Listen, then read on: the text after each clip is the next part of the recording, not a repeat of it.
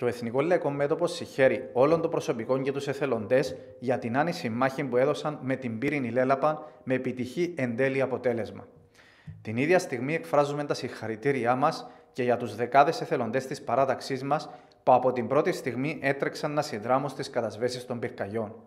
Το ΕΛΑΜ για ακόμα μια φορά αποδεικνύει περίτρανα την ευαισθησία που το διέπει σε περιβαλλοντικά θέματα, χωρίς πολλά λόγια αλλά με πράξεις ουσίας.